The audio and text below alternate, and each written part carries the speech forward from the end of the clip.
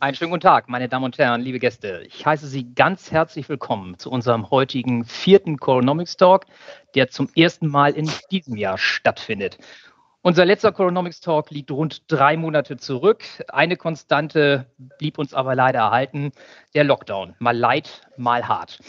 Gleichwohl wollen wir heute einen Blick auf die Wirtschaft in der Süderelbe-Region werfen, beziehungsweise auf eine entscheidende Voraussetzung für deren Funktionieren, die Frage der Mobilität. Und zwar in, vor allem aber auch nach der Corona-Krise.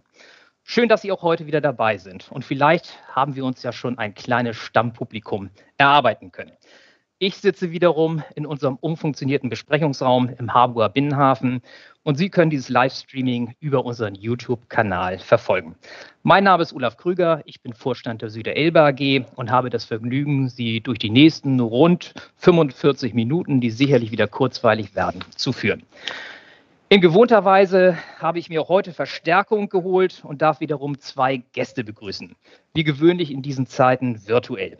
Zunächst freue ich mich, dass Senator Dr. Agnes Tjax, Präses der Behörde für Verkehr und Mobilitätswende der Freien und Hansestadt Hamburg, so die vollständige Bezeichnung, unser Gast ist. Herr Tjax, Sie sind der erste Senator der neu geschaffenen Behörde für Verkehr und Mobilitätswende und bekleiden diese Aufgabe seit Juni 2020.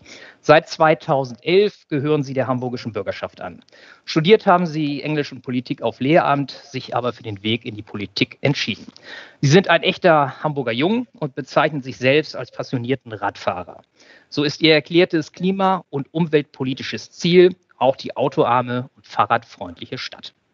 Herr Terks, gestatten Sie mir vorab die Frage, nehmen Sie tatsächlich alle Termine mit dem Fahrrad wahr? Und wären Sie heute bei uns hier im Hamburger Süden, wären Sie auch mit dem Fahrrad gekommen? Ja, erstmal schönen guten Nachmittag, Herr Krüger. Ich freue mich total, hier äh, zu sein. Und äh, momentan ist das eher so, man nimmt die meisten Termine nur virtuell wahr. Sie haben es ja schon angesprochen. Sie sehen es ja auch an meinem äh, Bildschirm, weiße Wand von zu Hause. Und ähm, äh, in der Tat ist es aber so, wenn Sie sozusagen jetzt mal so ein bisschen äh, in die, als, als der Lockdown noch nicht mal light war, sondern sozusagen ähm, im Sommer gar nicht da war, äh, habe ich die Termine in Harburg auch mit dem Fahrrad wahrgenommen. Ähm, aber die S-Bahn, wenn sie fährt, ist auch super. Gut, auf die verschiedenen Verkehrsträger kommen wir gleich noch ausführlich zu sprechen. Ganz sicher. Zum Zweiten darf ich Hendrik Falk, Vorstandsvorsitzenden der Hamburger Hochbahn AG, begrüßen, der uns ebenfalls zugeschaltet ist. Herr Falk, Sie sind seit 2016 Vorstandsvorsitzender der Hamburger Hochbahn und verantworten damit ziemlich viel davon, was in Hamburg auf Straße und Schiene rollt. Bevor Sie nach Hamburg kamen, waren Sie mehr als sechs Jahre Vorstand für Finanzen und Vertrieb der Berliner Verkehrsbetriebe der BVG wobei sie für diese bereits seit 2004 tätig waren. Ich unterstelle damit einmal, im ÖPNV der beiden größten deutschen Städte kennen sie sich blendend aus. Sie sind gebürtige Berliner, studierter Jurist und wirken in verschiedenen Gremien auf nationaler und internationaler Ebene mit. Immer geht es dabei um Verkehr und Mobilität und auf die eine oder andere Tätigkeit und Funktion werden wir im Laufe des Gesprächs noch zurückkommen. Herr Falk, bei neuen Mobilitätsangeboten gilt Hamburg als Hauptstadt in Deutschland mittlerweile. Gibt es trotzdem etwas, was Ihnen in Berlin aktuell besser gefällt? Ja, also erstmal von, von meiner Seite herzlich willkommen. Ähm, äh, kann ich momentan, ich überlege gerade, aber eigentlich fällt mir nichts ein, was mir gerade besser gefällt, weil ich schon wahrnehme, dass die beiden Städte, äh, gerade was weiß ich, Pop-up-Bike-Lanes äh, unterwegs sind, was neue Mobilitätsformen angeht und ich inzwischen wahrscheinlich schon so subjektiv mit Hamburg verbunden bin, dass ich äh, eher ein paar Hamburger Vorteile aufzählen könnte, ähm, als jetzt Berliner Vorteile an der Stelle. Also was mir in Hamburg insbesondere, wenn ich das vielleicht noch sagen darf, damit das nicht so in einer, in einer halbhohen Flughöhe bleibt, besonders gut gefällt, das ist schon ein Unterschied zu Berlin, ist, dass Hamburg, gerade was neue Mobilitätsformen angeht, deutlich offener aufgestellt ist. Also hier von, von Beginn an bewusst gesagt hat, wir wollen uns hier als Stadt präsentieren, wo äh, die Anbieter ihre Chance haben, wo sie Geschäftsmodelle aufbauen können und wo sie sich Schritt für Schritt entwickeln können. Und äh, da nehme ich doch in Berlin, auch bei all den Kontakten, die ich nach wie vor habe, schon durchaus politisch und inhaltlich ein anderes Klima wahr, weil man dort immer versucht, gleich die Dinge ähm, so einzubinden, dass sie auch Sinn machen. Und das macht oft Sinn, wenn ich aber noch gar nicht weiß, wo der genaue Sinn liegt und der sich entwickeln soll dann ist es erstmal gut, vor allen Dingen unter äh, äh, Maßgabe von Geschäftsmodellen zu sagen, lass doch die Dinge sich mal entwickeln und dann schauen wir, wo es hingeht. So, und das macht Hamburg ehrlicherweise gerade besser. Also ähm, ansonsten fällt mir dazu nichts anderes ein gerade. Na, wunderbar. Also da steht das Hamburger Herz doch gleich ein bisschen höher. Wir greifen auch die Punkte noch auf. Also nochmal ein herzliches Willkommen an Sie beide. Schön, dass Sie sich heute Zeit genommen haben für dieses Gespräch und dass wir mit Ihnen vor allen Dingen einen Vertreter aus der Politik als auch aus der Praxis zu Gast haben. Wir wollen also heute über ein Thema sprechen, das im Grunde genommen 80 Millionen Menschen in diesem Land betrifft und umtreibt, nämlich Mobilität. Die Rahmenbedingungen, wenn wir sie mal ganz oben einordnen wollen, sind klar. 2015 einigten sich 197 Staaten in Paris auf Ziele zur Reduzierung der Treibhausgase und eine maximale Temperaturerhöhung um zwei Grad. Um tatsächlich Klimaneutralität zu erreichen, müssen die Emissionen im Verkehr bis 2050 um 90 Prozent gesenkt werden. Alle Verkehrsträger werden zu dieser Verringerung beitragen müssen. Zur Info, und by the way, in Hamburg fahren heute rund 800.000 Autos und seit 2011 ist diese Zahl nochmal um 11 Prozent gestiegen. Schauen wir auf die Wirklichkeit vor Corona hier bei uns vor Ort in der Süderelbe-Region, so sahen wir verstopfte Straßen mit zahlreichen Baustellen, die nicht immer optimal koordiniert waren, eine ÖPNV, der häufig an der Kapazitätsgrenze arbeitet und noch ziemlich wenig von der neuen Welt der Mobilität. Dann kam Corona und profitiert davon haben vor allem zwei Verkehrsträger neben dem Fahrrad eben auch das Auto, weil hier nun mal das Infektionsrisiko am geringsten ist. Sozusagen die Quarantäne auf vier Rädern.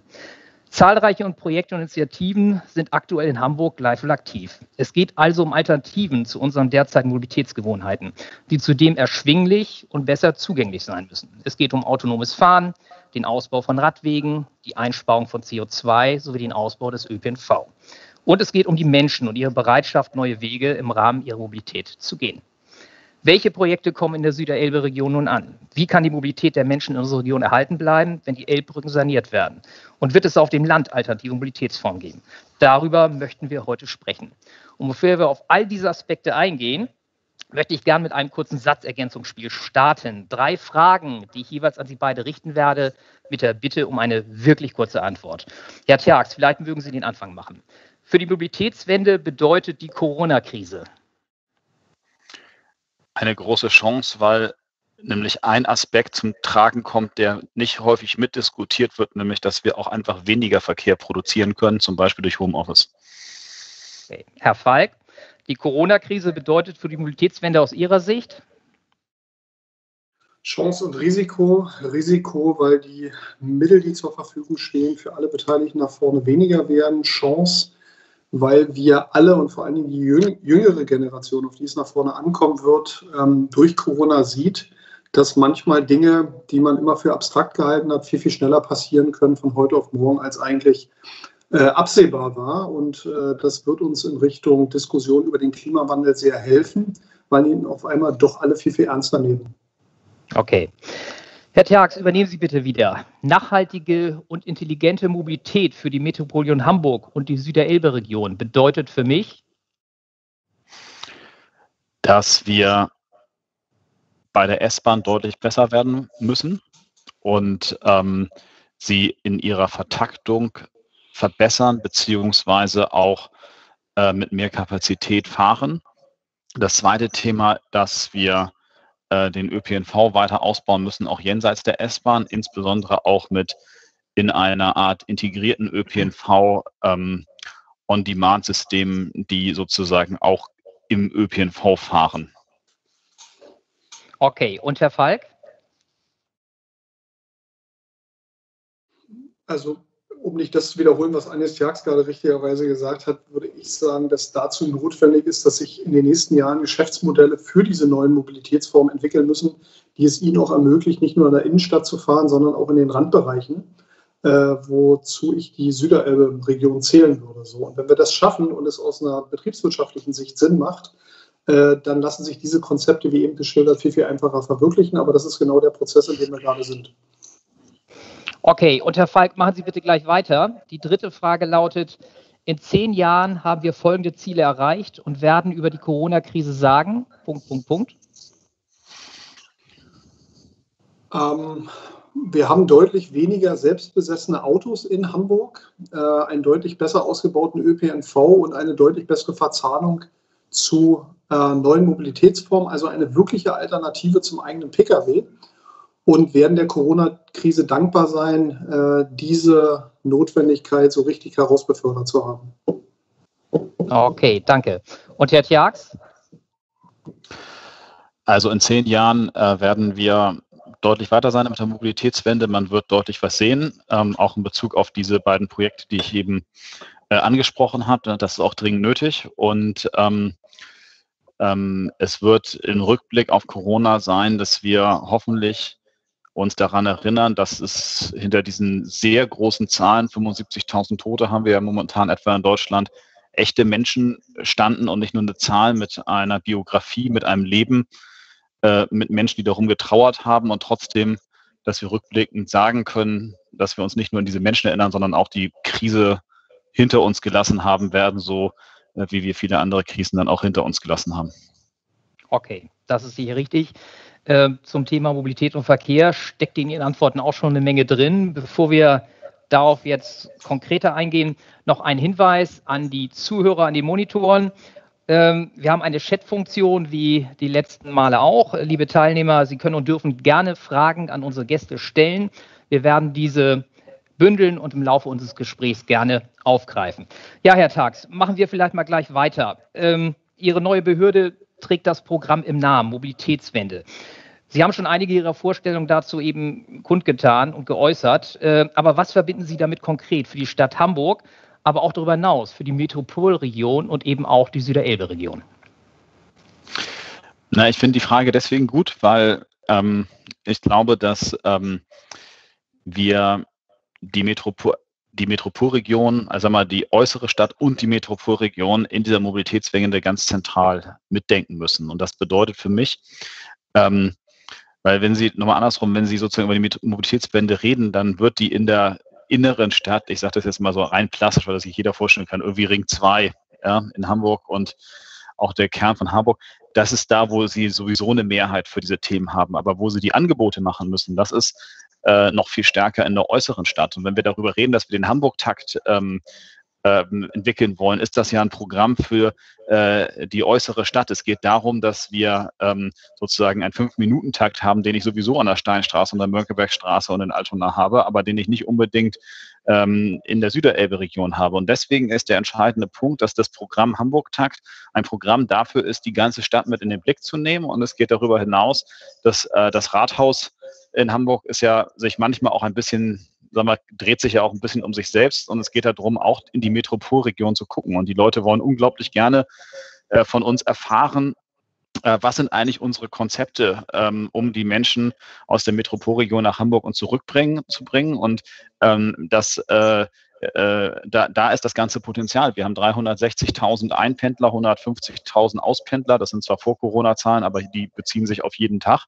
Und wenn die alle mit dem Auto fahren, dann wird das auch in der Stadt Hamburg mit der Metropolwende nicht so viel. Und deswegen wird einer der zentralen Punkte eben sein, äh, wie man auch einen Bahnverkehr, das ist das Stichwort, die großen Doppeldeckerzüge, ähm, nach Niedersachsen in diesem Fall, aber eben auch mit NAHSH äh, entwickeln kann, wie man sozusagen die die S-Bahn stärken kann. Man muss ja auch sagen, die S-Bahn nach Harburg, die Erweiterung nach Buxtehude und Stade hat ja auch so ein bisschen dazu geführt, dass die S-Bahn an ihrem eigenen Erfolg erstickt ist, weil die Leute sozusagen wirklich ja in Massen in diese S-Bahn zusätzlich geströmt haben. Es führt zu allen Folgeproblemen, die ich gar nicht kleinreden will, aber das Projekt an und für sich ist ja ein Riesenerfolg. Und ähm, das Thema haben wir natürlich auch, wenn wir sozusagen in die Metropolregion kommen, mit allen weiteren Bahnstrecken. Und da müssen wir intensivst mit Niedersachsen reden, äh, wie wir da mehr Bahnverkehr ermöglichen. Da müssen da oder können, da haben wir Hausaufgaben zu machen als Stadt Hamburg, das ist ganz klar, aber eben auch Niedersachsen. Ja, okay. Äh, Sie sprechen damit ja auch unmittelbar die Infrastrukturfrage an. Äh, Infrastruktur kostet Geld, ähm, müsste aber nicht viel mehr passieren, aktuell schon. Ja, es müsste, also man muss dazu sagen, wir sind äh, in vielen Fällen äh, werden wir eher damit konfrontiert, dass wir äh, zu viel bauen. Sie haben ja das Thema Baustellen auch angesprochen. Der Grund, warum wir eine Baustellenkoordination haben, was trotzdem niemandem genügt, weil äh, sozusagen wir in Wahrheit viel zu viel Verkehr auf den ähm, zu kleinen Straßen haben oder die Straßen nicht größer gebaut werden können, weil die Stadt Hamburg, aber auch die Stadt Harburg äh, gebaut sind und zwischen den Häuserkernen es einfach auch nicht mehr durchpasst, äh, brauchen wir die Mobilitätswende und gleichzeitig ist es so, äh, wir brauchen eigentlich noch viel mehr als das, weil wir haben zum einen einen Infrastrukturstau, einen Instandhaltungsstau. Ich äh, Harburger Autofahrer kennen das leidlich. Ähm, das ist das ganze Thema A7 und Elbtunnel. Ähm, aktuell wird gerade saniert die Hochstraße Elbmarsch, Deutschlands längste Autobahnbrücke. Und gleichzeitig ähm, werden wir in, dieser, äh, in diesem Jahrzehnt angehen müssen. Die A1-Brücke Süderelbe und Norderelbe. Wir werden das Thema äh, Eisenbahnbrücke Süderelbe und Norderelbe machen. Und zwar nicht, weil wir Infrastruktur ausbauen, sondern weil wir den Instandhaltungsstau aufheben müssen. Und gleichzeitig brauchen wir mehr Infrastruktur. Und zwar insbesondere Bahninfrastruktur in Richtung Niedersachsen. Und wir brauchen äh, mehr Fahrplanstabilität nach Harburg für die S-Bahn. Ja, okay. Äh, ich komme da gleich darauf zurück. Ich möchte aber zunächst auch noch eine Frage an Herrn Falk äh, richten zum Thema Mobilitätswende, nämlich.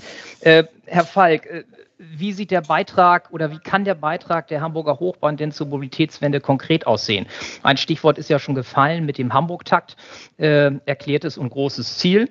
Ähm, und was ist dann im Vergleich zur Vergangenheit vielleicht neu dabei? Ähm, was für Innovationen können wir seitens der Hamburger Hochbahn erwarten? Ja, man muss vielleicht noch mal einen Schritt zurückgehen. Jetzt ähm, auch auf Basis dessen, was Agnes Tjax gerade sagte, muss man sich vergegenwärtigen, dass äh, wir, glaube ich, allseits anerkannt in Hamburg ja durchaus einen guten ÖPNV haben. So, wir, die Erkenntnis vor zwei Jahren nunmehr war aber ehrlicherweise die, wenn ich jetzt mal erstmal in Hamburg bleibe, und zwar über alle Parteigrenzen hinweg und auch in der Hochbahn. Das sind ja durchaus Erkenntnisse, die auch einem stolzen Unternehmen wie der Hochbahn nicht so leicht fallen, dass man sagen muss, dass wenn wir mit der Qualität und in dem Tempo weitermachen, wie wir es die letzten zehn Jahre gemacht haben, werden wir keine Mobilitätswende schaffen. So, und das, weil Sie fragen ja nach der Hochbahn, das für die mhm. Hochbahn eine Erkenntnis, die nicht so einfach ist, weil man ja sagt, also wir sind doch eigentlich ganz toll, wir haben eine ganz tolle Qualität, wir haben einen ganz hohen Kostendeckungsgrad, also wir haben ganz viele Dinge, die man so jetzt ähm, auf den Tisch packen könnte und sagen könnte, wir sind ein tolles Verkehrsunternehmen. Und auf der Basis ähm, war aber die Erkenntnis für die Hochbahn, und das ist ja Ihre Frage als erste zu sagen, wir müssen uns über den Horizont der Hochbahn hinaus damit beschäftigen und sagen, was bedeutet denn überhaupt? Mobilitätswende. Wenn ich jetzt vor allen Dingen mal gesamtsystemisch raufschaue und da erkennt man, und das können wir als Hochbahn natürlich noch ein bisschen einfacher formulieren, fällt uns aber auch immer nicht ganz leicht, dass es nur zusammengeht.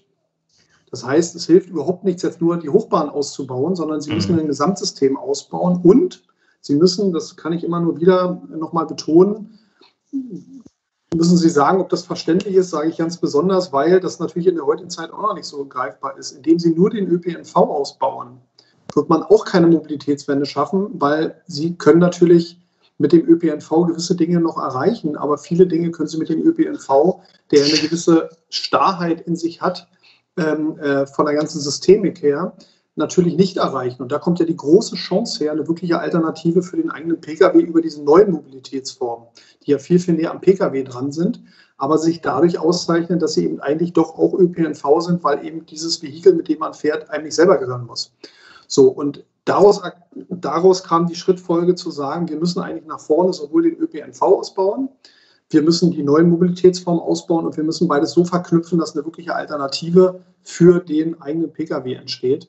Und da spielt die Hochbahn natürlich eine wesentliche Rolle, weil beim Ausbau des ÖPNV bedeutet das für uns ganz klar, dass der Hamburg-Takt 50 Prozent mehr Fahrgäste beinhalten wird. Mhm. So, und ähm, das heißt, wir müssen, wir gehen ja davon aus, wir haben momentan ungefähr eine Busflotte von 1000 Bussen äh, oder mit der VAH zusammen, wenn ich das jetzt zusammennehme, sind es 1500 in Hamburg, dass wir circa 700 mehr Busse brauchen, äh, äh, um das hinzubekommen, 600 Haltestellen mehr und das On-Demand äh, gespickt mit autonomem Fahren notwendig ist, um eine Verknüpfung hinzubekommen, dass sie wirklich dieses System hinbekommen, was Agnes Tjax geschildert hat. So. Und äh, nur darüber wird es gehen. Ich glaube, das ist eine Erkenntnis, die uns äh, alle trägt, dass wir die Menschen nur dann überzeugen können, wenn sie sagen, okay, für viele Lebenssituationen brauche ich diesen eigenen Pkw gar nicht mehr. Ich muss ihn nicht selbst besitzen, sondern finde dafür das Angebot, äh, was passt. So, das kann man sich in vielen Regionen heute noch nicht vorstellen, aber genau da müssen wir hin.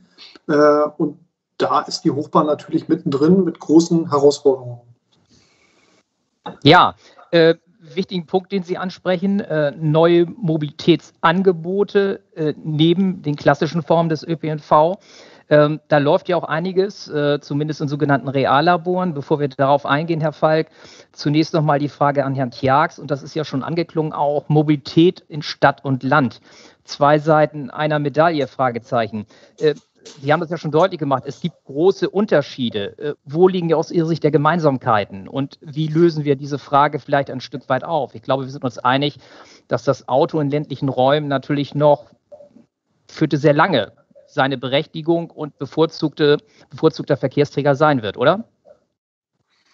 Ja, das wird so sein und deswegen ist es natürlich sehr wichtig, ähm, ähm, dass in den ländlichen Bereichen insbesondere auch die Antriebswende mit Wucht vorankommt. Ich meine, wir haben uns lange Zeit damit mit der Idee aufgehalten, dass Deutschland mal der Leitmarkt für Elektromobilität wird. Ich sage nur Stichwort eine Million E-Fahrzeuge bis 2020, alles nicht erreicht worden. Aber ich prophezeie auch, dass wir ähm, mit, äh, dass das jetzt mit Wucht passieren wird, weil wenn so ein großer Konzern wie Volkswagen im Prinzip sagt, wir elektrifizieren uns komplett, dann wird das natürlich eine Konsequenz haben, wenn das Angebot sozusagen im Prinzip nur noch aus Elektroautos in ich weiß nicht, vier oder fünf Jahren besteht. Und das hat äh, Folgen und das hat aber auch das Potenzial, Klimaziele im ländlichen Raum in einer ganz anderen äh, Intensität äh, auch zu erreichen, auch im Verkehr. Das zweite Thema ist, ähm, ich glaube, dass Stadt und Land, und deswegen werde ich auch nicht müde, das zu betonen, ähm, und auch die Bundesländer, die Metropolregionen miteinander ganz stark zusammenarbeiten müssen in Verkehrsfragen, weil es natürlich sehr stark darum gehen wird, Angebote zu schaffen. Und die Angebote müssen natürlich darin bestehen, dass ähm, ganz massiv gefördert wird, äh, die langlaufenden äh, Autoverbindungen, die in die Stadt gehen, in die Bahn zu bekommen. Und das bedeutet, dass wir äh, sozusagen ähm, erstmal einen Angebotsausbau brauchen bei der Regionalbahn, bei der S-Bahn und dass wir darüber hinaus natürlich auch die Möglichkeiten brauchen, dass die Menschen dort ähm, ihr Auto oder auch ihr Fahrrad an den entsprechenden Bahnhaltestellen abstellen können, ähm, um jetzt mal ein Beispiel ganz konkret zu machen, das ist jetzt das Thema Fahrrad, aber das ist auch auf dem Land in Ordnung ähm, und wird genutzt. Ähm, und in diesem Fall ist es jetzt ein Beispiel aus Harburg. Wir wollen ja an der äh, Station Harburg äh, Hamburgs größte Fahrradstation mit 1200 äh, Plätzen bauen. Und da sehen Sie, welches Potenzial da drin steht. Das ist natürlich wäre ein Vielfaches teurer, wenn wir 1200 Autoparkplätze äh, äh, bauen müssten. Und das kann man sich natürlich in ländlichen Regionen auch durchaus vorstellen. Also da gibt es eine ganze Menge Themen und das, was Herr Falk auch äh, besprochen hat, dass die, sag mal, die interessanten Neuerungen ähm, der Sharing-Ökonomie ähm, äh, momentan bedauerlicherweise, sag ich mal, in der Kernstadt verfügbar sind, alle in etwas ähnlichen Bediengebieten. Ähm, ist natürlich misslich, aber es geht natürlich darum, diese in Zukunft auch nutzbar zu machen ähm, für die Gebiete, die nicht so dicht besiedelt sind. Und das kann man, es jetzt braucht man kein Prophet zu sein, dass natürlich die Profitabilität von solchen Anbietern hängt natürlich massiv mit der Bevölkerungsdichte zusammen. Und wenn die abnimmt, nimmt auch die äh, Profitabilität ab, beziehungsweise ist nicht mehr da, dass man sich als Stadt oder als Staat auch überlegen muss, ähm, was investiert man dort gegebenenfalls auch. Also auch das sind Themen, über die man reden kann, äh, muss und ähm, die sozusagen sich in zehn Jahren die Mobilität auch auf dem Land deutlich verändert haben werden. Ja, dazu noch eine Nachfrage. Sie sprachen äh, von den Bundesländern, den norddeutschen Bundesländern. Ja. Eine, eine Frage äh, von einer Zuhörerin aus dem Landkreis Harburg, äh, mhm. die fragt, wie wäre es denn, wenn die Nordländer gemeinsam ein Bahninfrastrukturausprogramm beschließen würden? Ja, es, also es ist es ja so, dass sozusagen wir in einem ständigen und steten Austausch stehen. Ähm, es ist halt nur auch so, dass wir ähm, ähm, das natürlich nicht beeinflussen können. Also zum Beispiel ähm, äh, hat sich Hamburg, also äh, hat sich Hamburg für den Bau damals äh, einer anderen Trassenführung Richtung Hannover ausgesprochen, als der Niedersächsische Landtag verfolgt. Und ähm, umgekehrt sagen die Niedersachsen nicht ganz zu Unrecht, ähm, ähm, könnt ihr nicht mehr ähm, Züge, Nahverkehrszüge nach Hamburg lassen. Und ähm, auch das würde ich gerne tun, aber muss gestehen, dass der Hamburger Hauptbahnhof schlicht und ergreifend voll ist und äh, da keine weiteren Züge mehr reinpassen. Also wir deswegen auch Hausaufgaben zu tun haben. Und wenn wir das einmal erkennen, und da äh, versuche ich sozusagen auch mit dem Kollegen Altusmann die Gespräche darüber voranzutreiben, wenn wir das erkennen, dass wir da in einem Boot sitzen und auch eine andere Bahnplanung brauchen. Ich versuche das mal in äh, zwei, drei Stichworten zu erläutern, weil die Bahnplanung in Deutschland seit längerer Zeit wirklich echt verbesserungsfähig ist. Das ist nämlich so, dass man früher einfach Einzelprojekte geplant hat und äh, gar nicht so sehr geguckt hat, was nutzen die eigentlich. Und mit dem Deutschlandtakt wir endlich eine andere Bahnplanung bekommen haben, die nämlich sagt, wir gucken mal, was wir eigentlich wollen. Wir gucken mal, welche, was wollen wir für Züge, die fahren wollen. Haben zum Beispiel das Ziel, wir wollen jetzt einen Halbstunden-Takt zwischen Hamburg und Bremen und Hamburg und Hannover und Hamburg, so sage ich mal, allen anderen Städten haben dieser Republik. Und ähm, dann bauen wir die Infrastruktur entsprechend aus. Und das führt jetzt dazu, dass die Infrastrukturinvestitionen in die großen Metropolen gehen, weil da wird nämlich das Geld eigentlich gebraucht. Nämlich das Geld wird gebraucht, um zwischen Hamburg Hauptbahnhof und Diebsteich einen neuen Tunnel zu bauen, weil wenn wir den nicht bauen, dann kriege ich die Züge nicht aus dem, nicht in den Hauptbahnhof rein und nicht wieder raus und dann kann ich auch nicht mehr Bahnverkehr organisieren nach Hamburg, obwohl die Leute wollen ja nach Hamburg rein. Und ähm, da einen Konsens zu schaffen und auch einen Konsens zu schaffen, dass wir diesen Infrastrukturausbau gemeinsam brauchen, weil die Eisenbahn ein sehr starres System ist. Wenn irgendwo das Gleis zu eng ist, passt gleich echt viel weniger durch. Das muss das Ziel sein. Insofern, ja, diese Hörerin oder diese Leserin oder Schreiberin äh, hat sehr recht und äh, wir müssen uns da alle gemeinsam im Riemen reißen, dass wir das auch tun. Das wird mich vor Ort auch ein bisschen wehtun. Okay, aber äh, es wird Initiativen und Gespräche geben dazu. Es gibt äh, Gespräche dazu und ja, äh, die sind auch äh, intensiv. Ja, okay. Äh, ich muss auf einen Punkt noch zu sprechen kommen. Dieses Stichwort, was Sie mir geliefert haben, Hamburger Hauptbahnhof und äh, die Kapazitätsgrenzen diesbezüglich. Äh, die Frage hatte ich mir eigentlich bis zum Schluss aufheben wollen, aber ich stelle sie dann jetzt schon an dieser Stelle. Ähm, eine westliche Elbquerung mit der Bahn. Äh, Sie wissen, dass es letztes Jahr hier aus dem Hamburger Süden ähm, mal als eine Vision in den Raum gestellt worden ist das für Sie in absehbarer Zeit eine Option. Denn das würde nicht nur die Verkehrssituation hier im Hamburger Süden maßgeblich verbessern können, sondern tatsächlich auch zu einer Entlastung des Hauptbahnhofs beitragen können. Also Stichwort S-Bahn-Ring. Ähm, dazu muss man, also es gibt ja in Hamburg häufiger die Kritik, die gibt es auch nicht nur aus dem Süden, die sagen, man müsste eigentlich immer alle Verkehre über den Hauptbahnhof führen. Und da gibt es auch was Wahres dran. Wir haben in Hamburg zu wenig Tangentialverbindungen. Und das gilt auch für diese Verbindung äh, aus Süderelbe, äh, ich sag mal in Richtung Altona. Umgekehrt muss man sich aber auch immer folgende Frage stellen, die lautet, wo wollen die Leute eigentlich hin? Und dazu muss man dann wissen, das ist zwar jetzt verkehrlich untersucht, aber ich wage mal eine Prognose und bin mir ziemlich sicher, dass sie zutrifft. Ähm, die meisten Leute, die aus Süderelbe Richtung Hamburg fahren, wollen eher Richtung Hauptbahnhof als Richtung Altona. Und zwar in einem Verhältnis, das sehr deutlich ist.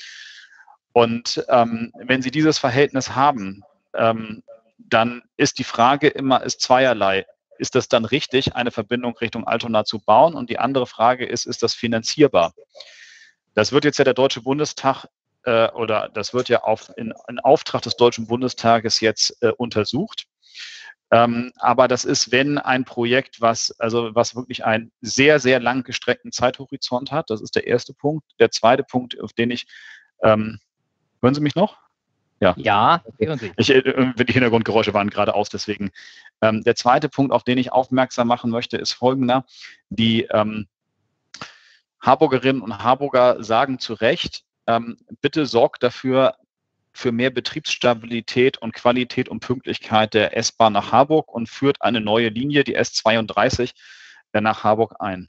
Dafür laufen die ganzen vorbereiteten Maßnahmen. Man muss dazu wissen, dass es nicht so einfach ist, das zu verändern, weil man, der eigentliche Grund, warum das jetzt nicht morgen früh passiert, ist die Infrastruktur, die einfach alt ist und es dauert, die zu ersetzen. Da arbeiten wir aber auch extrem intensiv dran. Das ist etwas, wo was sozusagen, ich sag mal, innerhalb der nächsten Jahre äh, die S-Bahn-Situation, die Bahnsituation in Harburg erheblich verbessern wird und äh, oder das hoffen wir zumindest alle, dass das so eintritt dann. Und äh, das ist etwas, was aber in einem überschaubaren Zeitraum passieren wird. Und das ist das, wo die Leute tatsächlich hinwollen, nämlich zum Hauptbahnhof. Und deswegen ist ein bisschen die Frage, ob es so sinnig ist, ähm, sich zu überlegen, dass man noch eine andere Elbquerung macht an Orte, wo sozusagen zumindest we weniger Menschen hingehen. Das wird jetzt aber der Deutsche Bundestag untersuchen oder diese Studie untersuchen. Aber Sie hören schon daraus, dass ich sozusagen momentan die politischen Prioritäten auch im Interesse Harburgs eher ähm, auf anderen Themen sehen würde. Ja, okay. Äh, aber Herr Falk, wir könnten ja auch die Uhr 4 weiter verlängern Richtung Harburg. Könnten wir tun, ja. Äh, darf ich das als Versprechen verstehen? Naja, das ist, äh, ich meine, bekannt ist ja, äh, wir haben ja, als wir äh, Elbbrücken jetzt neulich nochmal den, den Sprung oder den kleinen Grasburg vorgestellt haben, dass wir dort in einer Machbarkeitsuntersuchung drin sind. So, das wird aber zunächst mal nur den Sprung auf den kleinen Grasburg beinhalten. Und dann stellt sich natürlich die Frage, wie geht es weiter? Da gibt es äh, zahlreiche Vorstellungen. Ähm, da sind wir aber ehrlicherweise noch gar nicht durch. So. Und, und ähm, ich kann nur noch mal auch in das gleiche Horn wie Agnes Jags blasen, dass es so ist, dass wir uns schon noch mal vor Augen führen müssen, äh, was haben wir eigentlich in den nächsten zehn Jahren vor der Brust. So. Und, und ähm, da ist, glaube ich, wenn Sie sich nur ansehen, was Hamburg vorhat, in Richtung, es soll eine U5 gebaut werden. Wir haben äh, einige Streckenverlängerungen, wir haben äh, S-Bahn-Linien, und wir wollen parallel bis 2030 auch noch den Hamburg-Takt durchführen, was ja massive Angebotsausweitung beinhaltet und das kleine, aber feine Thema Digitalisierung der Schiene, weil das kann ich nur aus der Praxis nochmal bestätigen. Das ist auch so eine, eine ziemlich verquere Diskussion, ähm, äh, die mir in Bergedorf im Übrigen auch des Öfteren begegnet. Ähm, ich wohne ja in Bergedorf, wir hatten es vorhin im Vorgespräch, wo relativ schnell ich von Beginn an hier gefragt wurde, ob es irgendwie möglich ist. Äh, insofern ist die Situation, finde ich, mit Harburg ziemlich vergleichbar, ob man nicht eine U-Bahn-Strecke nach, nach Bergedorf äh, bauen könnte, wo ich immer ähm, wo meine Frage ist, wieso soll ich eine U-Bahn-Strecke nach Bergedorf bauen? Ich habe da eine super S-Bahn-Anbindung. Ja, aber die funktioniert auch nicht perfekt.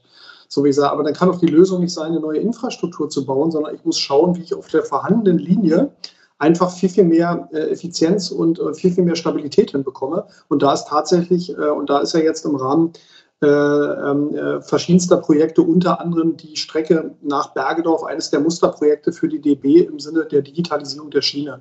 Und wenn man das hinbekommt, dann bekommt man auf der vorhandenen Infrastruktur, und das wird nach Harburg genauso sein, und es ist im Übrigen bei der U-Bahn genau dasselbe Thema, dass sie auf einmal auf derselben Infrastruktur mit neuer Technik in der Lage sind, ganz andere Takte zu fahren. Und das macht dann richtig Sinn, weil sie natürlich richtig Kapazität schaffen und ist aber ähm, im Übrigen auch unter Nachhaltigkeitsgesichtspunkten der viel, viel bessere und schnellere Weg, und monetär sowieso, als immer über neue Strecken nachzudenken. Mhm. Deswegen versuche ich gerade immer eher für Realismus zu sorgen und würde sagen, also wenn, wenn, wenn Hamburg das in den nächsten 10 bis 15 Jahren schafft, was wir momentan alles in der Pipeline haben, dann ist das für Deutschland schon nahezu rekordverdächtig. Und es ist vollkommen unrealistisch zu denken, dass man die nächsten 10 oder 15 Jahre noch on top irgendwelche weiteren Projekte umsetzen oder bauen könnte. Äh, äh, ohne andere rauszunehmen. Das muss man immer sagen. Prioritäten mögen sich verschieben, aber das ist ein Riesenpaket, was man sich da vorgenommen hat. Und die U5 nur als Beispiel ist ja das größte innerstädtische Infrastrukturprojekt in Deutschland mit Abstand. Mhm. Äh, und natürlich hat eine Dimension, die für Hamburg bahnbrechend ist an der Stelle. Und das letzte Mal, glaube ich, vor 40 Jahren oder so angegangen wurde. Also das darf man immer nicht vergessen bei diesen Diskussionen. Vielleicht okay. darf ich noch ein, eine Sache hinzufügen, Herr Krüger. Ja, klar. Das, was auch immer übersehen wird, ist äh, bei diesen Diskussionen, dass die S-Bahn und die U-Bahn nach Harburg, wenn sie denn gebaut werden würde, ein anderes Betriebskonzept hätten. Das ist mir immer sehr wichtig zu betonen. Die U-Bahn würde ja fahren ähm, über den kleinen Grasbrook, dann wahrscheinlich zum Stübenplatz, dann da irgendwie so ein bisschen die Georg-Wilhelm-Straße über oben drüber oder unten drunter runter gondeln, dann irgendwie da zur S-Bahn Wilhelmsburg, dann durch Kirchdorf. Dann macht sie da vielleicht noch einen Halt in Wilhelmsburg, dann kommt sie irgendwann auf die Binnenhafen, äh, im Binnenhafen und dann vielleicht zur S-Bahn Harburg Rathaus oder sonst wohin, keine Ahnung. Und da sehen Sie schon, ähm, die S-Bahn hat ein Betriebskonzept, das sagt, ich habe genau eine Station in Wilhelmsburg, das ist die S-Bahn Wilhelmsburg. Ich habe eine Station auf der Veddel und bin auf dieser ganzen Insel, die nämlich wirklich groß ist, äh, mit zwei Stationen durch und habe eine ganz andere Geschwindigkeit. Das heißt, wenn ich da in Heimfeld einsteige, bin ich in einer, die, die Hörer äh, und Zuschauer wissen es wahrscheinlich besser, aber in einer wirklich Konkurrenz los guten Geschwindigkeit am Hamburger Hauptbahnhof und dann ehrlicherweise auch an der, keine Ahnung, Holzenstraße, äh, Sternschanze, äh, wo auch immer Sie sonst hin wollen, Jungfernstieg. Ähm, und wenn Sie sozusagen jetzt mal sehen, dass da so eine U-Bahn langfährt, die ist dann schon eher, sag ich mal, eine kleinteiligere Verbindung. Und das ist eben auch ein anderes Konzept. Und deswegen ähm, ist das eben nicht so, wir bauen jetzt noch eine Infrastruktur und noch eine Infrastruktur, sondern man muss eigentlich sagen, das Konzept, wenn die S-Bahn nach Harburg gut läuft, ist ein wirklich gutes Konzept. Und da, deswegen ist das Allerwichtigste, dass man das hinkriegt, dass diese Strecke vernünftig funktioniert. Und dann sagen ja auch 140, 150.000 Passagiere, das sind 40 Prozent der Hamburger S-Bahn-Nutzerinnen und Nutzer, sagen ja auch, das ist ein gutes Konzept, weil sie das benutzen. Und äh, das ist, muss der Kern der Infrastrukturaufgabe nach Harburg sein. Das wäre mir sehr wichtig. Und alles andere führt eher dazu, dass man dieses Thema weiter vor sich her schleppt und äh, man es nicht richtig löst. Und das ist das dringende Thema nach Harburg aus meiner Sicht. Ja, okay. Ähm, Dankeschön für, für die ausführlichen Erläuterungen. Also wir können festhalten, jenseits der Frage von neuen Schienensträngen, es wird definitiv in den nächsten zehn Jahren deutlich Verbesserung der Verkehrssituation geben. Wunderbar. Ähm, ich würde gern jetzt so das Infrastrukturthema vielleicht mal kurz zumindest verlassen und äh, auf andere Fragen der Mobilität zu sprechen kommen. Äh, Herr Volk, Herr Falk, Versucht macht klug, sogenannte Reallabore gelten als der Weg der Erkenntnis. In Hamburg läuft derzeit das Reallabor Digitale Mobilität. Können Sie uns kurz erläutern, was sich dahinter verbirgt und welche Erwartungen knüpft die Hamburger Hochbahn daran? Ich darf hinzufügen, dass Sie auch Mitglied äh, der neuen Plattform Mobilität sind, die beim Bundesverkehrsministerium aufgehängt ist und dort dort mitwirken. Daraus ist diese Idee ja entstanden. Aber erklären Sie uns bitte, was genau dahinter steckt. Ich dachte, Sie erläutern noch mal kurz Ihre Rolle in dem ganzen Projekt. Das mache ich im Anschluss. Ähm, ach so, wollte ich gerade sagen. Ähm, also dahinter steckt der Gedanke, dass die Mobilitätswende und die Themen, über die wir auch gerade diskutiert haben, ähm, natürlich in ganz Deutschland, wenn wir nur in Deutschland bleiben, in Deutschland diskutiert werden. Und man ehrlicherweise sagen muss, dass aber es überhaupt gar keine Blaupause dafür gibt und keiner auch einen Masterplan hat, weil es noch nie gemacht wurde. Und wir über bestehende Infrastrukturen reden, die in großen Metropolen Schritt für Schritt für Schritt ähm, sich anders äh, connecten müssen und anders entwickeln müssen. So. Und wenn man diese Erkenntnis hat, äh, und den Willen dazu, und das hat Hamburg an der Stelle, dann ist vollkommen klar, dass, es, ähm, dass man sich als Modellregion, das hat Hamburg gemacht, äh, bereit erklärt und sagt, wir wollen eigentlich die nächsten zehn Jahre, der Weg ist das Ziel, Schritt für Schritt Dinge testen in kurzen Abständen, um, um dann zu schauen, welche Dinge funktionieren und welche Dinge funktionieren nicht und was muss man verändern und wie sind die Wirkungen dahinter.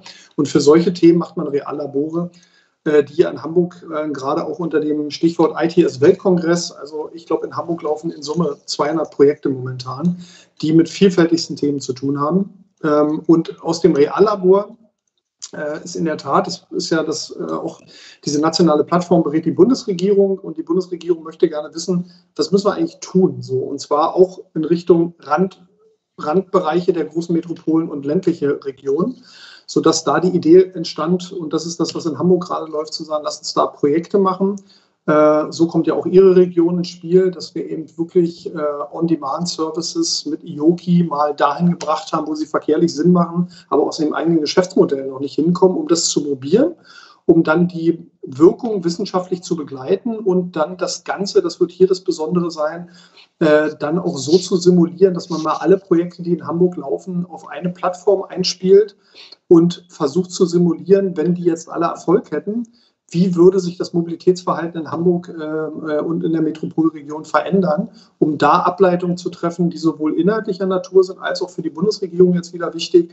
Was muss man eigentlich steuerlich tun? Zum Beispiel Stichwort ist auch, hier wird ein Mobilitätsbudget in Kürze mal probiert werden. Was muss man für die Arbeitgeber tun, äh, damit man Dinge entwickelt, die dann auch auf die Mobilität, die ja nicht nur von der Technik geprägt ist, sondern natürlich auch ähm, ähm, incentiviert werden kann, äh, äh, gerade über steuerliche Hebel um dort Ratschläge zu geben. Und Hamburg will das hier Schritt für Schritt die nächsten Jahre machen, um so dann auch selber schlauer zu werden äh, und auch Wissen weiterzugeben, damit dieselben Fehler, die hier vielleicht auch gemacht werden, nicht an anderer Stelle nochmal gemacht werden. Das ist der ähm, Hintergrund. Jetzt nicht ganz so eine kurze Antwort, aber ich hoffe, dass das deutlich wird, was damit verbunden ist.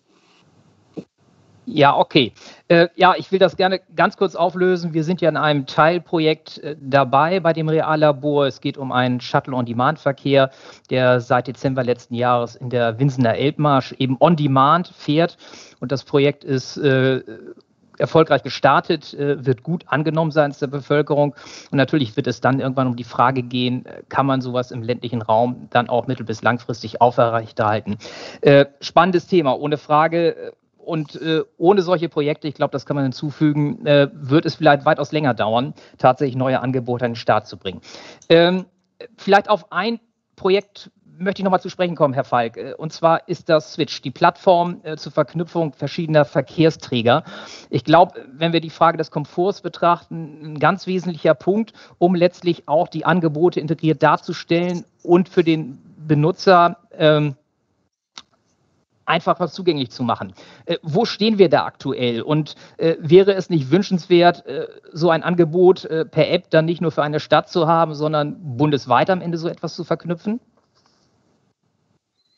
Also am Ende mit Sicherheit. Also hier ist es auch wieder so, dass man zunächst mal sagen muss, irgendjemand muss ja mal loslegen damit ähm, und muss versuchen in seiner Stadt, und das ist das, was wir versucht haben und was wir mit HVV Switch versuchen, mal jetzt bis Ende des Jahres alle wesentlichen Mobilitätsdienstleister inklusive ÖPNV in einer App verbunden zu haben, ähm, um dann zu schauen, welche Klientel ähm, äh, ist da ansprechbar, welche Mehrwerte kann man daraus generieren, weil das ja die eigentliche Mobilitätswende ist, weil wir auch in der App-Welt natürlich und bei den Plattformen äh, aktuell total getrennte Welten haben.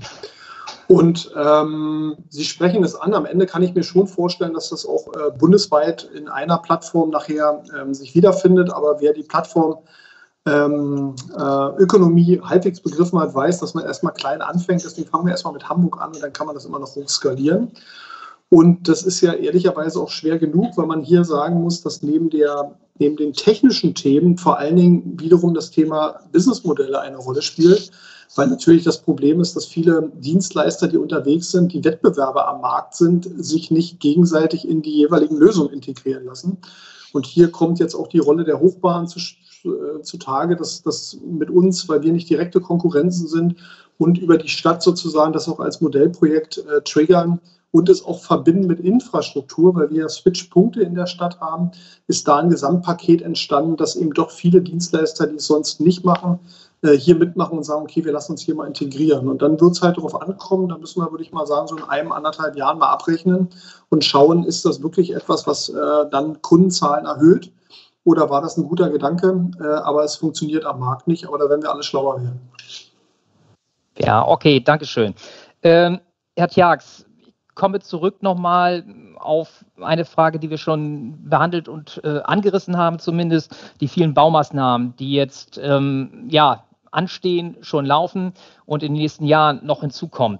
Ähm, wir haben jetzt viel über die Zukunft gesprochen, aber konkret mit Blick auf die nächsten drei bis fünf Jahre, was unternimmt Ihre Behörde, um mit diesen Themen umzugehen und Abhilfe zu schaffen, um die Mobilität, gerade die Anbindung hier aus dem Hamburger Süden äh, Richtung Norden, nördlich der Elbe aufrechtzuerhalten? Naja, der Punkt ist schon, dass wenn Sie mal ähm, betrachten oder wenn die Öffentlichkeit sehen würde, welchen Aufwand wir betreiben, um tatsächlich Baustellen äh, zu koordinieren, dann ähm, würden, glaube ich, äh, wäre sie schon sehr beeindruckt, weil in der Tat äh, wird da sehr viel hin und her überlegt und auch gerungen, Maßnahmen kurzfristig abgesagt.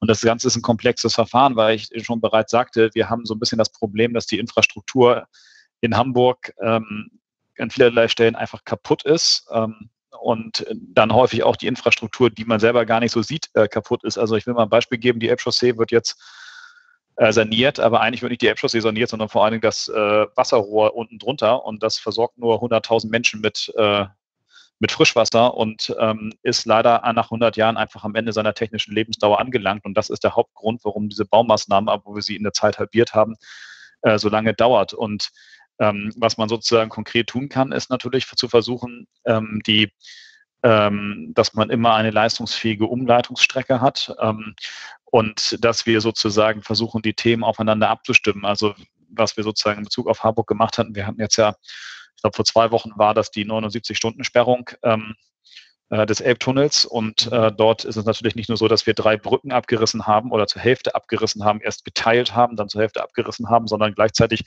diverseste Maßnahmen quasi im Windschatten dieser Baumaßnahme äh, haben und dass wir versuchen, eine gute Verkehrsführung zu machen, die sich im Übrigen in vielerlei Hinsicht am Elbtunnel auch dadurch erschöpft oder dadurch äh, ein Element hat, dass ähm, das Tempo schon deutlich vor dem Elbtunnel gesenkt wird, äh, um den Druck auf den Elbtunnel selbst äh, zu verringern. Ähm, das zweite Thema, was wir machen müssen, ist, ähm, das kann ich mal am Beispiel Harburg erklären. Ich habe ja sozusagen, also es ist ja eine sehr leidliche Baustelle, die für viele Hamburger und Hamburger gar nicht so bekannt ist, in Hamburg aber umso mehr immer ein Thema ist, das Thema Ehesdorfer Heuweg. Ähm, ist ja auch so ein Thema, das haben wir jetzt übernommen, was so ein bisschen so eine, so eine Endlosgeschichte hat. Aber wir haben quasi ja damals nach dem ersten äh, Bauabschnitt den Bauvertrag mit der entsprechenden Firma gekündigt, auch im Einvernehmen ähm, beendet, ähm, weil wir gesagt haben, das geht so nicht weiter, ähm, weil das Problem ist, dass wir mit der Baustelle kaum vorangekommen sind, die Ewigkeiten gedauert hat ähm, und gleichzeitig ähm, die, die äh, äh, die Kosten explodiert sind. Und ähm, das hat was damit zu tun, wie die Verkehrsführung gemacht worden ist. Und wir haben dann in einem intensiven Gespräch mit ähm, der Politik vor Ort äh, eine Lösung gefunden, die dazu führt, dass die Schule zugänglich ist, dass äh, die Anwohnerinnen und Anwohner jederzeit zu ihren Häusern kommen können. Ähm, ähm, indem wir quasi neben die Baustelle so eine Art äh, Baustraße gebaut haben, wo die Anwohnerinnen und Anwohner fahren können. Allerdings ist die äh, Straße für den Durchgangsverkehr gesperrt und ich glaube aber, dass seitdem ähm, ist da sozusagen weitestgehend, ich will nicht sagen Ruhe, das regt bestimmt Leute auf, aber sag ich mal, die Situation ist da deutlich befriedet und man muss sich da sehr intensiv mit den äh, Baumaßnahmen beschäftigen. Ich will aber auch nicht verhehlen, und das ist jetzt mal völlig unabhängig von der A7 und dem Ehesdorfer Heuweg, dass wir sozusagen aus meiner Sicht ein grundsätzliches Problem haben. Und das grundsätzliche Problem neben der Instandhaltungsstau der Infrastruktur ist, dass wir schlicht und ergreifend zu viel Verkehr auf zu wenig Fläche haben. Also das ist relativ einfache mathematische Formel.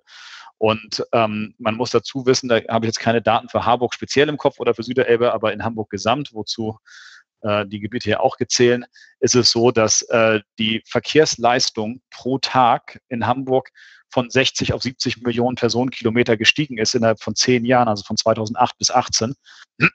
Und da sehen Sie, das ist eine erhebliche Steigerung, die damit zu tun hat, dass jeder einzelne mobiler geworden ist und dass wir viel mehr Menschen in Hamburg leben. Wenn Sie aber, wenn jeder einzelne mobiler wird, also die Wege pro Tag länger werden und gleichzeitig man mehr Menschen in seinen Mauern hat, dieselbe Verkehrsfläche zur Verfügung hat, dann steht man im Stau, es sei denn, der Einzelne oder die Einzelne verbraucht weniger Fläche. Und das ist die Mobilitätswende.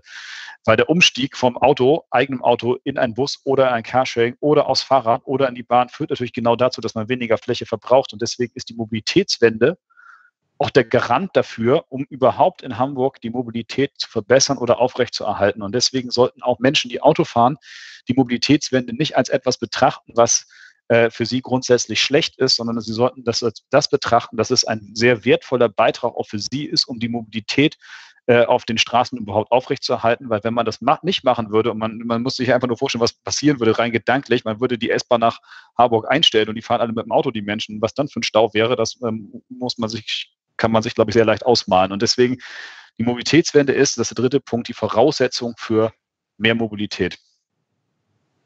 Ja, okay. Äh, knüpfen wir so ein bisschen an an äh, unsere erste Frage, die wir hier behandelt haben, ähm, Mobilitätswende äh, im Allgemeinen. Ähm, diesbezüglich gibt ja Push- und Pull-Maßnahmen. Ähm, welche favorisieren Sie denn? Naja, natürlich ist, äh, also ich glaube, das sind immer zwei Seiten einer Medaille und natürlich sind die leichteren Maßnahmen die Angebotsmaßnahmen, das ist doch völlig klar. Es ist ja auch so, wenn wir jetzt mal wieder bei diesem Beispiel bleiben, wenn ich möchte, dass weniger Menschen aus Harburg nach Hamburg mit dem Auto fahren, ähm, und dementsprechend im Prinzip die Wilhelmsburger Reichsstraße zurückgebaut werden kann, deswegen, weil da kein Mensch mehr fahren muss, muss ich natürlich eine S-Bahn anbieten, die diese Personenstrom aufnehmen kann. Das ist ja mal die Mindestvoraussetzung dafür. Ähm, oder ich muss ein Gesellschaftsmodell organisieren, das, äh, wo die Leute sagen, ich muss viel weniger fahren. Das kann ja, das ist ja das, was ich eingangs gesagt habe mit der ähm, mit der Voraus äh, mit, mit, dem, mit, mit, mit der Kraft, die Corona auch entfalten kann, weil Corona das erste Mal den Blick auch darauf lenkt, auch bei der Mobilitätswende, dass wir nicht nur äh, sag mal, Verkehr umverteilen, irgendwie von Auto aus Fahrrad oder von Auto aus Bus, sondern dass man auch mal sagen kann, wir, vielleicht brauchen wir auch weniger Verkehr, weil die Leute zu Hause sitzen, da auch ganz glücklich sind das vielleicht ihrem Familienleben sogar noch entgegenkommt und sie nicht jeden Tag eine Stunde zur Arbeit hin und eine Stunde zur Arbeit zurückfahren müssen. Aber eigentlich brauche ich erstmal die Angebote. Und dann ist es natürlich auch umgekehrt so, ich muss auch andere Themen unattraktiver machen, aber in dieser Reihenfolge. Und ähm, ich glaube, das ist auch leichter zu, äh, zu verkaufen, dass wenn Sie, ich nehme jetzt mal die Hannoversche Straße in Harburg, ähm, da bauen wir jetzt im, oder das Bezirksamt baut da die erste Protected Bike Lane, also einen besonders geschützten Radfahrstreifen von einer ordentlichen Breite hin. Ähm, und dann verstehen die Leute auch, wovon man den Platz braucht und ihn gegebenenfalls auch vom Autoverkehr wegnimmt, wenn ein anderer guter Verkehrsträger, den sie gerne benutzen, dafür gestärkt wird. Das kann das Rad sein, das kann der Bus sein, das kann die Bahn sein. Dann ist das, glaube ich, nachvollziehbar. Okay, danke schön. Ich schaue einmal auf die Uhr. Wir haben gleich 50 Minuten miteinander gesprochen, äh, viele Dinge, viele Inhalte angeregt. Ich würde dann auch ganz gerne zum Ende kommen äh, und vielleicht dann abschließend, äh, auch wenn wir das eingangs schon mal mit Blick auf die zehn Jahre behandelt haben, doch noch eine Aussage von Ihnen hören, äh, wie Ihre persönliche Mobilitätsvision für Hamburg denn aussieht. Sagen wir mal, ein bisschen über zehn Jahre hinaus auch gedacht, möglicherweise, weil Sie haben ja schon angesprochen, bis dahin haben wir schon eine Menge zu tun. Äh, wie sieht es aus in der Zukunft? Ähm, bitte. Henrik, bist du? Ähm, also wir haben, wir haben es geschafft, ein Mobilitätssystem, ein neues Mobilitätssystem in äh, Hamburg und äh, Metropolregion zu etablieren, was es wirklich weitestgehend äh, äh entbehrlich macht, ein eigenes Auto besitzen zu müssen. Und ähm, das heißt konkret für den ÖPNV, dass es gar keinen Fahrplan mehr gibt, weil es so häufig alles fährt, dass sie nur noch hingehen müssen und sie wissen, es kommt was und dass sie vor allen Dingen äh, über autonome, auch On-Demand-Systeme eine Einbindung von Dingen haben, die näher am Pkw sind, dass sie ihre normalen Lebenssituationen damit abfedern können und äh, freuen uns alle über den umverteilten und gewonnenen Platz, ähm, den wir dann für viel bessere Dinge einsetzen können als für Straßen mit vielen PKWs. Ja, danke schön, Herr Falk. Ähm, ich glaube, das würde Herr Tjerk sofort so unterschreiben alles. Gibt es noch aber einen ja. Punkt, den Sie, den Sie gerne noch anfügen wollen? Ja, wir haben ja hier viel über den Infrastrukturausbau in ja. der Bahn gesprochen und ich glaube, dass ähm, wir müssen uns erstmal vergegenwärtigen, wo kommen wir als Hamburg und auch als Harburg her, nämlich davon, dass wir an dieser Stelle die letzten 40 Jahre wirklich nicht so viel getan haben. Ja? 1980 ungefähr ist die letzte Straßenbahn. Hamburg hatte übrigens mal ein Straßenbahnnetz von 280 Kilometern abgebaut worden. Ähm, und seitdem ist sie zweimal von meiner Partei erfolglos eingeführt oder versucht worden, erfolglos einzuführen. Ähm, das hat dazu geführt, auch diese ganzen Diskussionen, brauchen wir eine Stadtbahn, eine U-Bahn, wollen wir die S-Bahn ausbauen, dass wir in Wahrheit kaum die Schieneninfrastruktur ausgebaut haben als Stadt, mal abgesehen davon von so einem kleinen Stummel ähm, U4 in die Hafen City und vielleicht äh, so ein bisschen S-Bahn nach äh, Stade. Und ähm, das ist etwas, was nie wieder passieren darf. Und deswegen ähm, bin ich auch so klar in der Frage, ähm, man kann ganz viele sich neue, tolle Projekte ausdenken. Und wissen Sie, ich habe die auch alle schon im Kopf. Sie sind auch zum Teil in Beschlüssen schon angelegt. Zum Beispiel habe sie in Hamburg äh, prüfen wir jetzt ja gerade ab, wenn die Güterumgehungsbahn ähm, vielleicht auch für den Schienenpersonennahverkehr nutzen kann. Äh, man kann natürlich darüber reden, dass man die U4 aus der Horner Geest nicht nur nach Harburg weiterführt, äh, sondern auch nach Jenfeld weiterführt, ein Stadtteil mit auch 35.000 Menschen ohne Schienenanbindung. Ähm, man kann über ganz viele Themen reden, die habe ich auch alle schon im Kopf. Ähm, aber der entscheidende Punkt ist, dass sie einen erstens nicht davon ablenken, dass man jetzt ein Infrastrukturprogramm vor der Brust hat, dass wenn wir das jetzt nicht bauen, wir zehn Jahre wieder verplempert haben. Und das Zweite ist, dass wir niemals wieder aufhören, den Schienenverkehr auszubauen und zwar in einem großen, großen Umfang, weil nur wenn das richtig, wenn das zwei Generationen machen, dann kommt man in einen Punkt, wo sich das Schienensystem wirklich richtig krass verbessert hat. Und ähm, das führt dazu, ähm, dass wir da wirklich äh, vorankommen. Und deswegen ist mir das so wichtig, dass es da auch einen parteiübergreifenden Schulterschluss in der hamburgischen Bürgerschaft für gibt und dass alle verstehen, wir müssen jetzt daran festhalten, das zu tun, weil von Plänen alleine wird überhaupt niemand transportiert und sparen sie kein einziges CO2-Molekül ein und das hilft dann gar keinem mehr. Okay, Dankeschön. Ja, wir haben glaube ich, jetzt äh, viele Aspekte und Themen angerissen, wobei wir, und das liegt in der Natur der Sache, nicht alle Themen und Fragen zur Mobilität haben beleuchten können. Aber, äh, und wir spüren das ja alle, das Thema Mobilität brennt den Menschen unter den Nägeln. Ähm, es geht einfach um eine zentrale Frage, die für unsere Gesellschaft eben gelöst werden muss mit den Herausforderungen mit Blick auf die Zukunft, Stichwort nochmal CO2-Reduzierung. Äh, ich möchte mich auf jeden Fall ganz herzlich bei Ihnen beiden bedanken für diesen Austausch. Wir bleiben im Gespräch, in jedem Fall, das kann ich zu zusagen und versprechen. Ähm, und äh, von Ihrer Seite unterstelle ich einmal Gesprächsbereitschaft zu allen Fragen und Themen, die den Hamburger Süden und das heißt nicht nur den Bezirk Harburg, sondern auch die angrenzenden niederländischen Landkreise betreffen, angehen. Ja, äh, Dank gilt auch an die Teilnehmer an den Monitoren. Schön, dass Sie heute wieder dabei waren. Wir wollen dieses Format gerne fortsetzen und äh, ich würde mich freuen, wenn wir dann beim nächsten Mal vielleicht auch einen neuen Namen finden können, nämlich einen Post-Coronomics Talk. Ganz sicher bin ich mir da noch nicht. Äh, aber wir hoffen alle auf die Überwindung der Pandemie. Äh, für alle, die keine Zeit hatten, diesem Streaming in Live zu folgen. Nochmals der Hinweis, dass er auch über unseren YouTube-Kanal im Nachgang angeschaut werden kann. Ein entsprechender Link wird über unsere Homepage zur Verfügung gestellt werden. Und geben Sie uns gerne auch ein Feedback zu diesem vierten Chronomics Talk Mobilität über unsere Social-Media-Kanäle Facebook und LinkedIn. Schließen möchte ich diesmal mit einem positiven Ausblick, nein, nicht diesmal, sondern wieder mit einem positiven Ausblick und zitiere mit Blick auf die nötigen Veränderungen den Dichter Friedrich Hebbel. Die Zeiten ändern sich und noch viel mehr die Menschen. Lassen Sie uns also Vertrauen in die Zukunft haben. Ich wünsche Ihnen ein frohes Osterfest, bleiben Sie gesund und zuversichtlich. Dankeschön.